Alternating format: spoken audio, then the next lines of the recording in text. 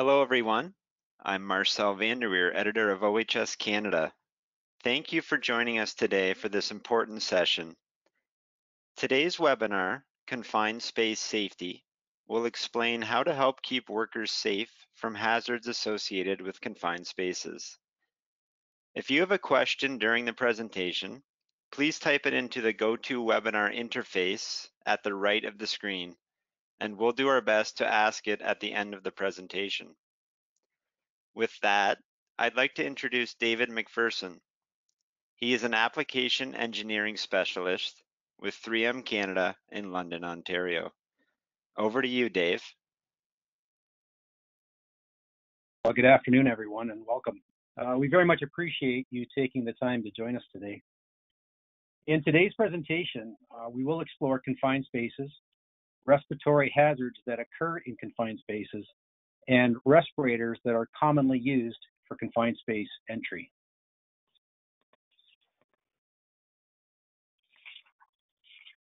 This presentation is based primarily on Canadian and American content. Requirements may vary by jurisdiction, so always consult the user instructions for the product that you're using and follow local laws and regulations. This presentation contains an overview of general information and should not be relied upon to make specific decisions. Completing this program does not certify proficiency in safety and health. Information is current as of the date listed for the presentation, and requirements can change in the future.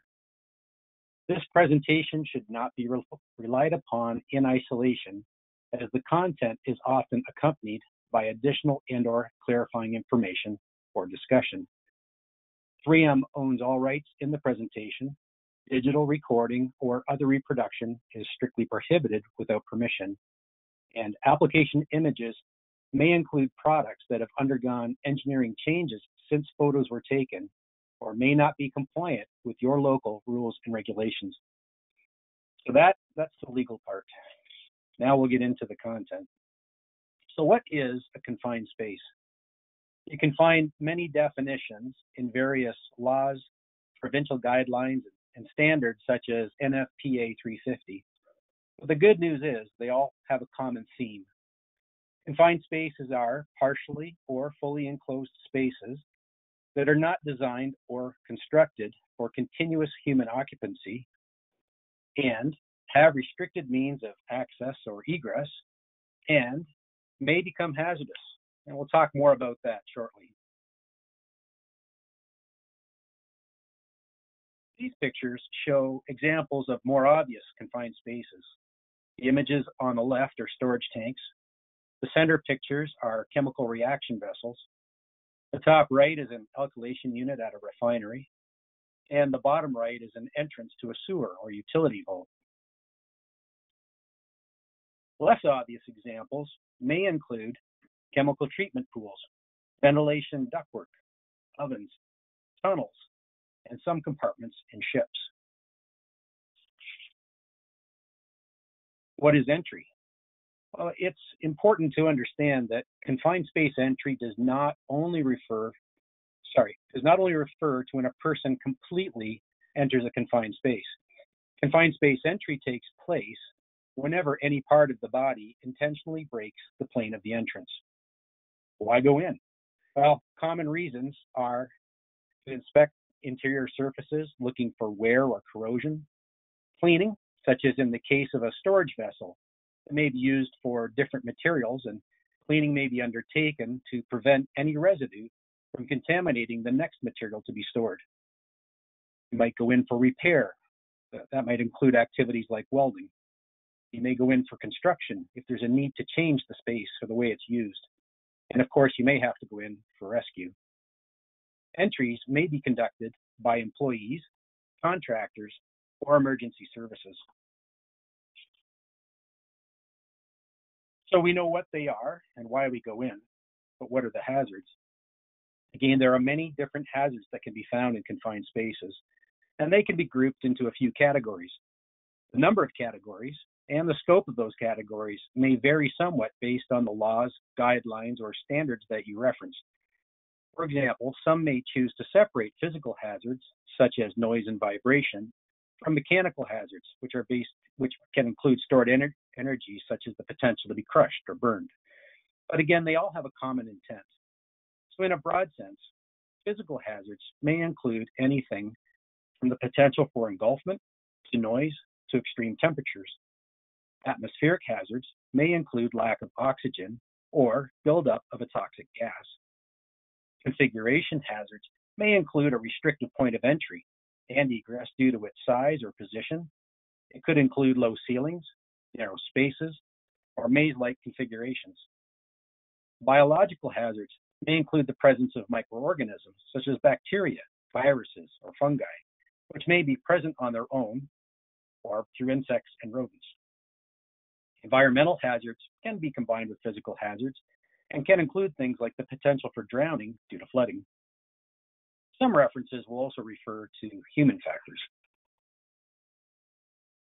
And you may be wondering which laws apply to confined space entry and, and who enforces those laws.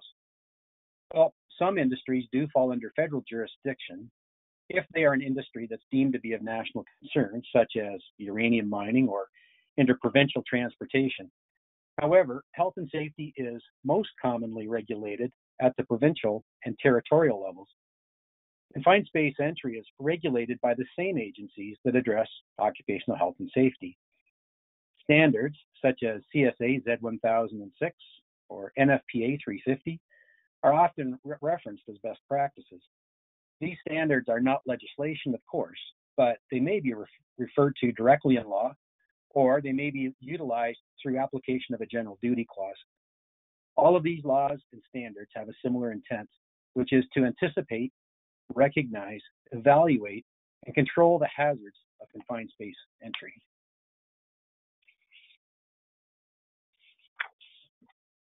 Atmospheric hazards can be grouped into two broad categories that express the type and the degree of risk atmospheres that are not immediately dangerous to life or health, or IDLH, are those in which all contaminants are known, the exposure concentration is known, concentrations are below their IDLH level, and there is adequate oxygen. That is, oxygen levels are above 19.5%. It's common to know what is in the confined space, but it can be more difficult to know how much is present and thereby determine the, the degree of hazard. And that brings us to the next category.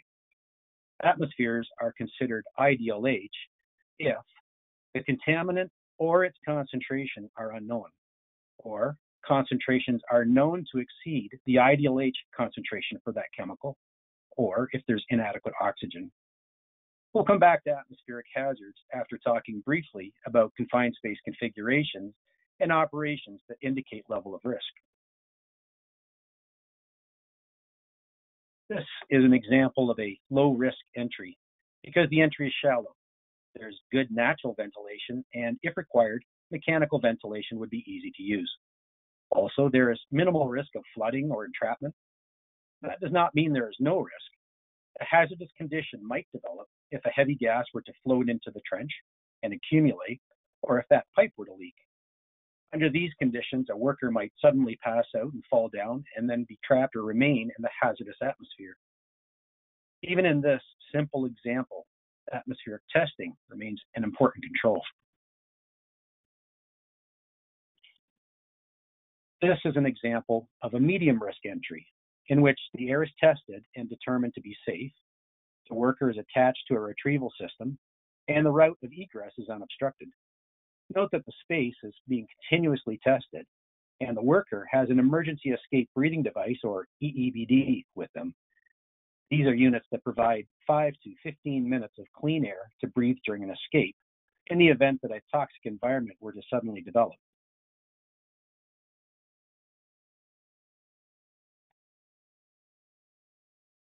This entry is also medium risk, but with greater risk than the last example. This might take place in a sewer, utility service way, or a subway tunnel. One reason there is more risk is because the workers are disconnecting from the fall arrest and retrieval system. In the event of an emergency, it might take longer to get out. You can see that the atmosphere is continuously tested and believed to be safe. But again, an EEBD is being carried in case the testing equipment were to suddenly indicate a problem. High risk scenarios may include non-standard entries or involve non-standard procedures or have the potential to produce unknown concentrations of airborne contaminants. This might take place if someone were to enter a space to conduct cleaning and they disturbed accumulated residue of an unknown material. It requires use of specific procedures and equipment. For example, if an atmosphere is considered to be potentially IDLH or might become IDLH, then the worker must wear a multifunctional respirator, such as the 3M Scott SKA-PAK, or a self-contained breathing apparatus, or SCBA, such as the 3M Scott Air-Pak 75i. It would also require the presence of a rescue team who's equipped and trained to use these same forms of respiratory protection. Well, we've talked about what confined spaces are and why people enter them, the types of hazards that may be present, and reviewed hazard levels. We can all appreciate the need for good confined space management and controls. This is reinforced by the fact that workers continue to be injured or die when confined space entry is not properly managed. There's limited data available, but we do know that the U.S. Occupational Safety and Health Administration reported that 96 deaths occurred in the United States between 2005 and 2009, so approximately 20 per year. We also know WorkSafe BC reported 18 deaths over a 15 year period, so on average, a little more than one.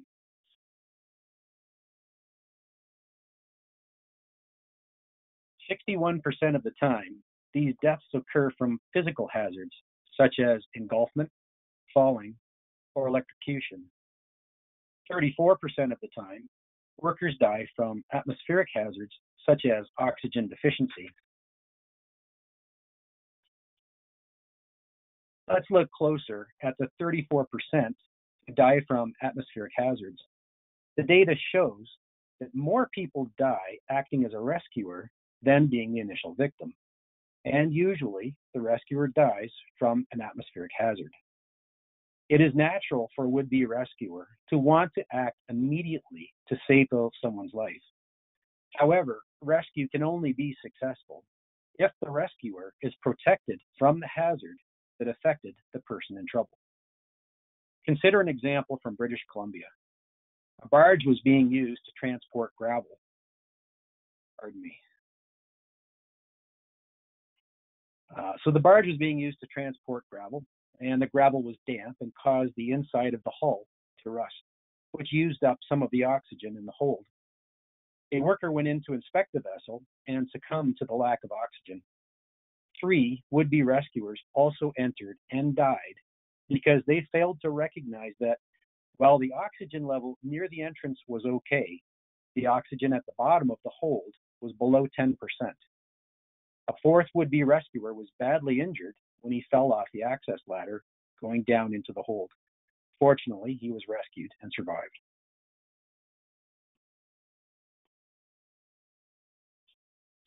So you need an effective confined space work and rescue plan in order to protect your workers. Comply with the law. Be prepared in case an incident occurs and protect your investment. It's a sound business strategy. We will now dig a little deeper into atmospheric hazards and respiratory protection. Gases and vapors can be flammable, toxic, or simply capable of displacing oxygen and thereby creating an oxygen deficient atmosphere. Some gases are lighter than air, so they rise, and these are more likely found near the top of the confined space. If the entrance is at the top of the space, then they may disperse out of the space when the entrance is opened, putting that worker at risk. Some gases are heavier than air and will accumulate near the floor of the space. This demonstrates why it is important to test the air at the top, the bottom, and intervals in between.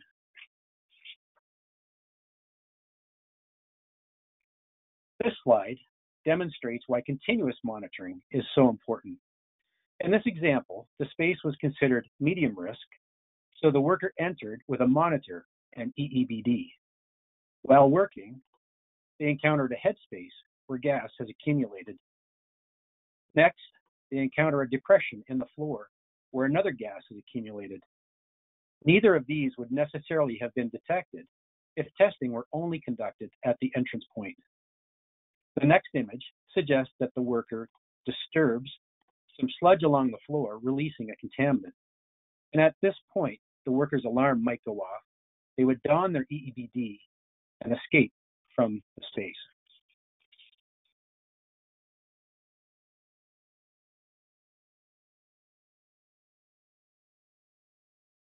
We could spend hours going through all of the factors that influence selection of a particular type of respirator. And we will talk about a few of those factors in a moment. But perhaps it is enough for now to summarize by saying that you must consider legislated requirements, knowledge of the hazard, capability of the respirator and the wearer, and the practicality of the respiratory solution.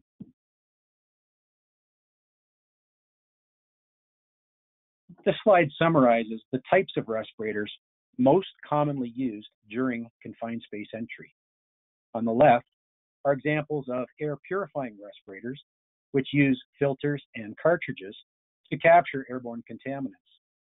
These are used when atmospheric hazards are known, are anticipated to not change significantly, and may be selected for the benefit of being small, lightweight, and simple to use. The images in the middle show an EEBD or emergency escape breathing device. As you can see, it includes a small cylinder of breathing air and a clear plastic hood.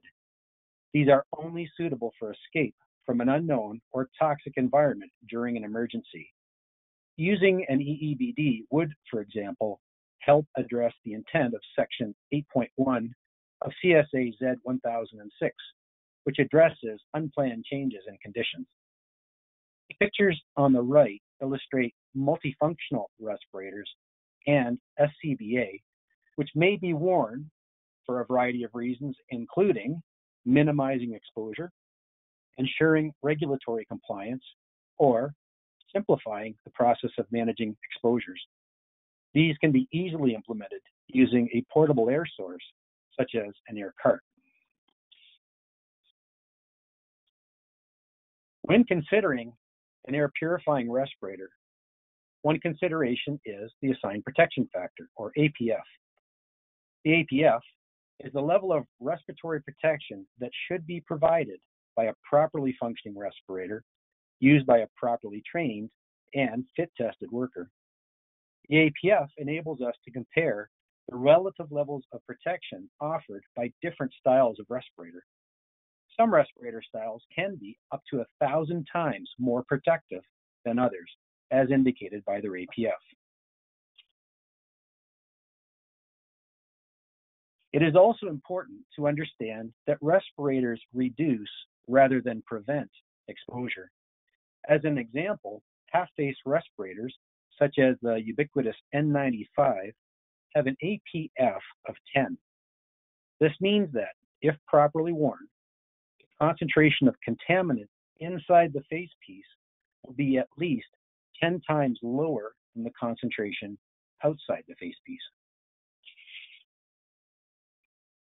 This slide demonstrates the categories of respirators commonly found in Canada. The bottom row illustrates the APF of 10 afforded to filtering facepiece respirators like N95s and half face elastomeric respirators Apologies. You can see that certain loose-fitting head tops that look like a hard hat combined with a face shield and used as part of a powered air purifying respirator or PAPR have an APF that is 2.5 times higher than a negative pressure air purifying half face respirator. Moving up the scale, we find full face respirators and PAPRs with hoods or helmets to the products with the highest level of respiratory protection, which include self-contained breathing apparatus or SCBA, and multifunctional respirators, which are often referred to as pressure demand airline respirators with escape SCBA. You will see an image of an EEBD in the lower right corner. It is not shown in a category because it does not have an APF. It is only intended for escape. Now let's take the concept of APF forward. The maximum use concentration, or MUC, is simply calculated by multiplying the occupational exposure limit of a chemical by the APF of the respirator. The MUC indicates the maximum concentration of the chemical that the respirator may be moved, used in. But here's an example of how an MUC is calculated. In this case, we are considering the maximum concentration of ammonia against which a negative pressure half face respirator may be used. The MUC is calculated by multiplying the APF of 10 times the occupational exposure limit of ammonia, which is 25, to get an MUC of 250. Since this is below the IDLH for ammonia, which is 500, then we can probably use this respirator. But before making a final decision, you would take into consideration that ammonia causes eye irritation, so you would have to wear goggles with this respirator, or you might consider using a full face respirator.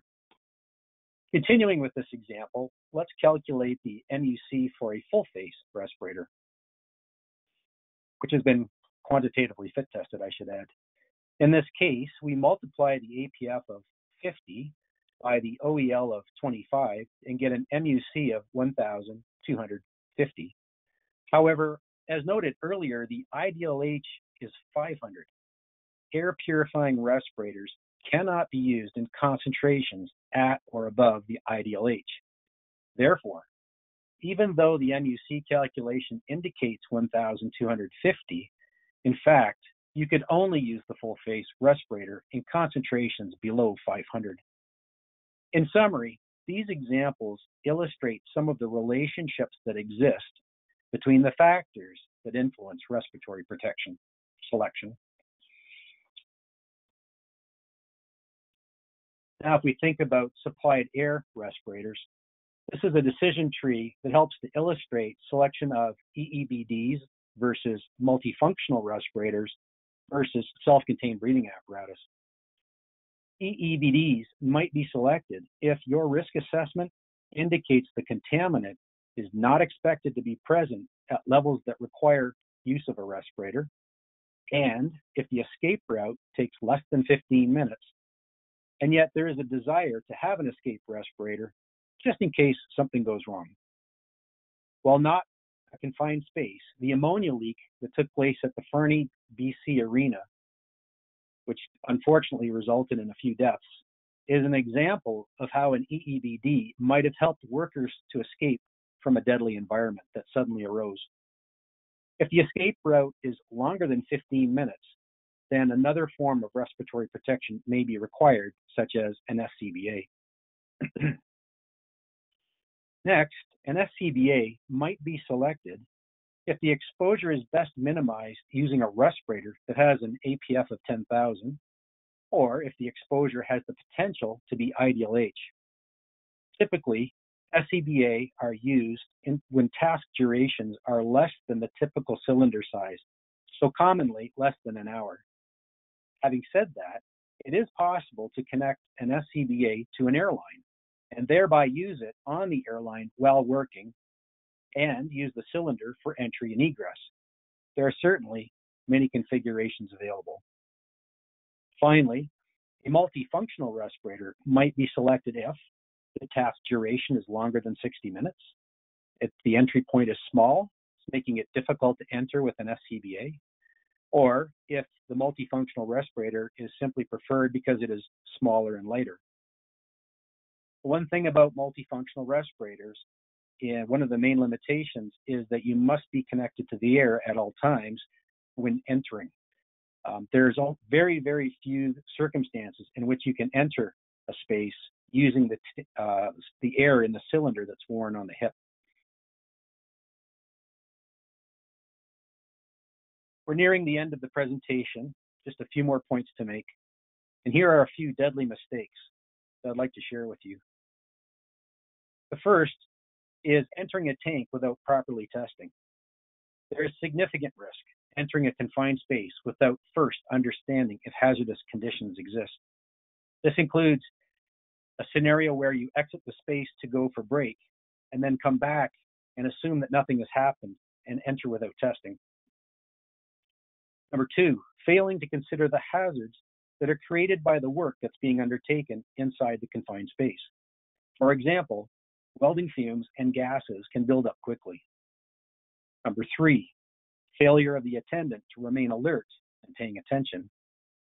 Number four, failure to properly select your instrumentation and then keep it maintained, calibrated, and checked.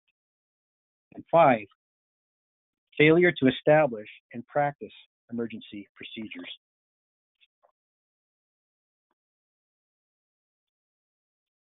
That's important to, to remember the hierarchy of preferred rescue methods and how that influences your operation and respirator selection.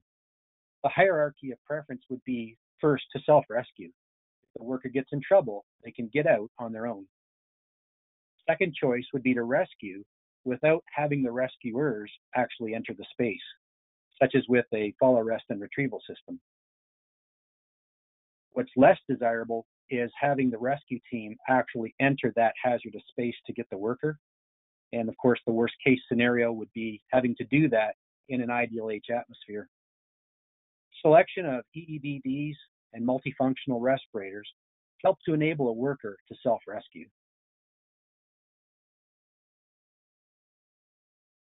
3M has a wide variety of products and training to help you with all stages of confined space entry, from planning to entry, conducting work, and, if necessary, rescue. For assistance, we'd encourage you to please reach out to our customer specialists who will either help you directly or put you in touch with one of our regional respiratory specialists or our application engineering team. Thank you.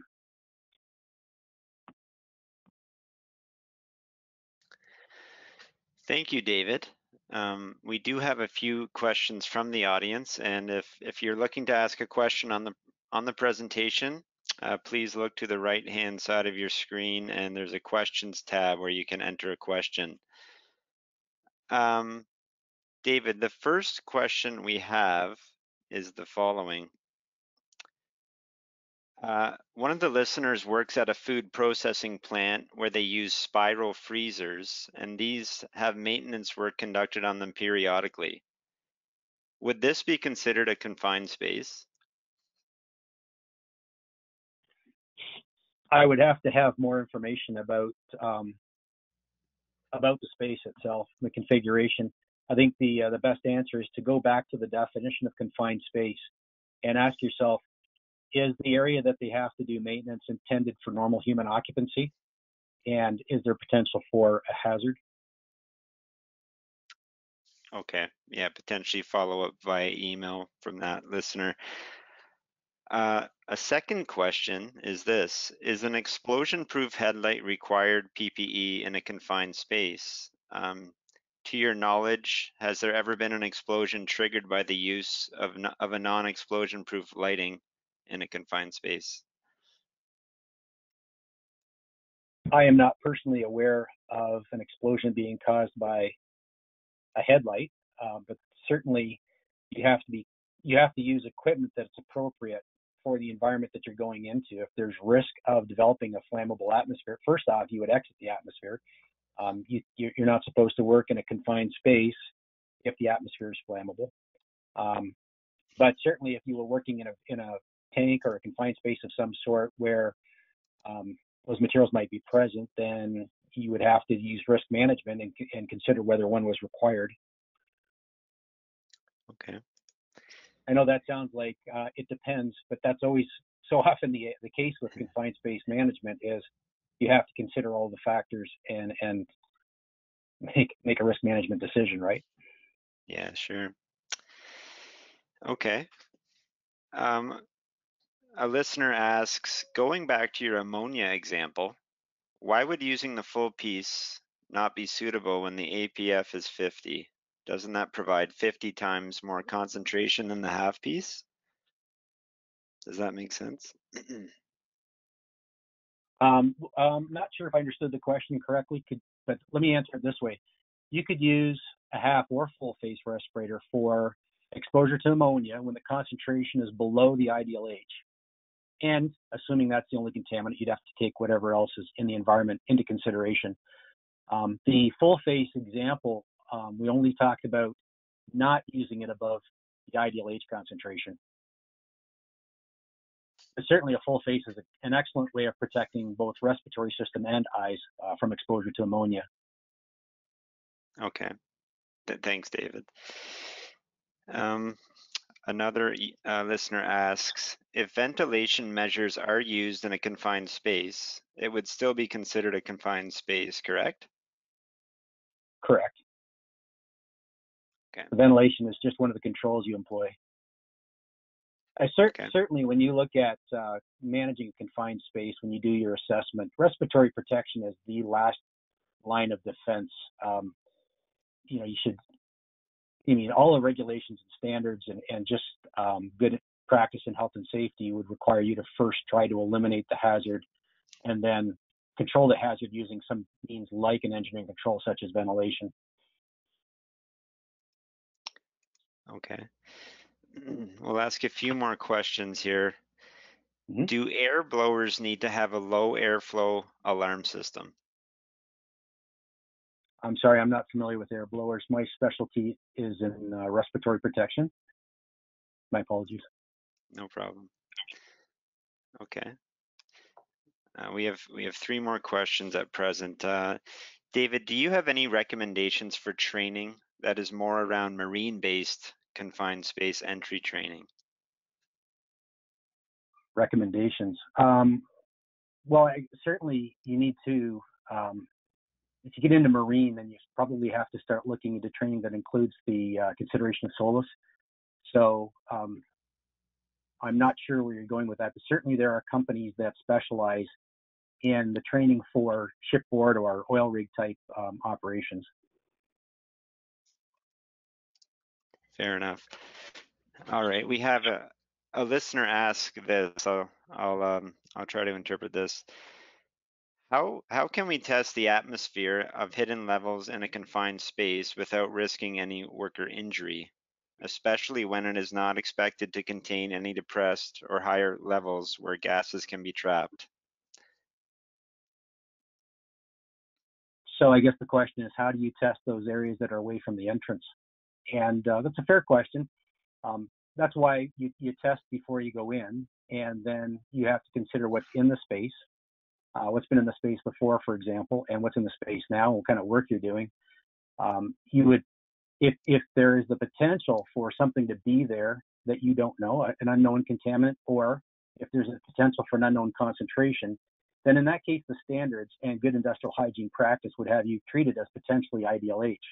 Not that it is IDLH, but you have to take that precaution. So in that case, you would enter under something like a, a multifunctional respirator with continuous monitoring. And once you've gone in and you've tested the space, you might be able to determine that in fact um, the multi- multifunctional respirator is not required. But you would want to use that as you go in and do your test. Again, there's a lot of variables that come into play, of course. Sure. Okay. David, um, another question. We have a, Mhm. medium risk confined space with a retrieval system. Do we still need a rescue team on site?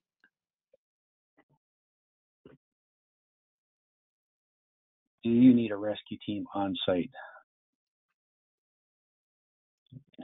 Okay. I, I- again, it would depend on the nature of the work and the potential for an upset condition to occur. Um, Sure. you're typ- typically what would be required, depending on the level of risk, you either need to have a rescue team that is readily available, or you would have to have a rescue team that is immediately present, and that would be dependent on the level of risk that's involved. Okay. Do you have time for a couple more questions or they're continuing to roll in? Sure. Okay. So here's one. Are crawl spaces considered confined space? Uh, I'm depends where the crawl space is. Sure. Again, again, go back to the definition of confined space and and um, apply that. Okay. David, uh, another question. I work, someone says, I work for a transport truck company with a full service garage. It has a pit in the shop floor. This is debatable among different staff members, but would a pit be considered a confined space when covered with a trailer that is being serviced? That is a good question. I'll follow up on that one. Okay. All right. I'll ask two more and then um, I'll, I'll, allow people to follow up with um, the experts on screen.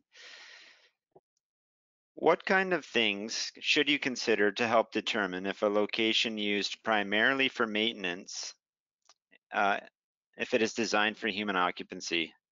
So I'm reading that straight out. I'm sorry, could you say it one So, more time, please? So what kinds of things would, should you consider to help determine if a location used for maintenance is designed for human occupancy? Is that something you can answer?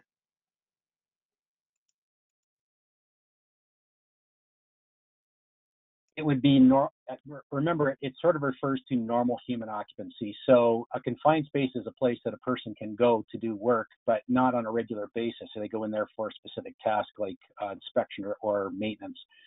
Um, so if you're talking about a, a place that people go into on a regular basis, not an infrequent basis, then that's potentially a, a site that's been designed for human occupancy. Okay.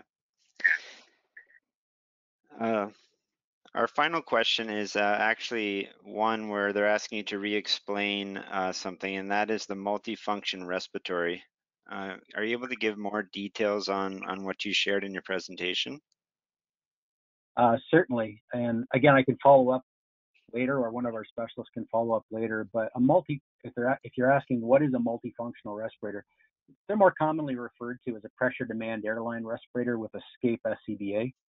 Uh, it's just the CSA standard introduced uh, the, the, term uh, when it was rewritten. So uh, it's a you have to differentiate a multifunctional respirator such as that from simply a pressure demand airline respirator the, the standard pressure demand airline respirator um, has a lower APF, that is a thousand, and does not include the little cylinder of air that you wear on your hip. Um, whereas the multifunctional is a combination of the two. So it's kind of a it's kind of a hybrid between a full SCBA and um, that pressure demand airline system. Okay. David, thank you. That that's all the questions we have time for and I'd like to thank everyone who attended today. If your question was not answered, there are three 3M contacts on the screen and you can contact them according to your region for follow-up.